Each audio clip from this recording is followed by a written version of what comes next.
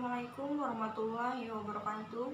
Perkenalkan, nama saya Tesalonika, NIM ADC 118042. Di sini saya akan mempraktekkan media pembelajaran APE untuk anak usia dini. Terlebih dahulu saya akan menjelaskan bagaimana cara bermainnya, yaitu dengan cara anak maju satu persatu untuk memilih kertas yang sudah disediakan.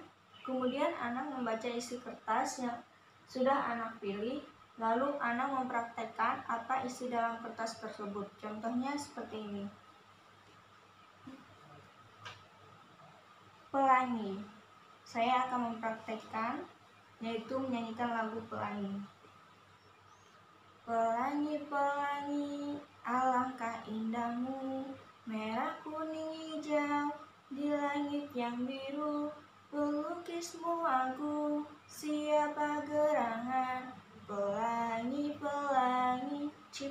ciptaan Tuhan.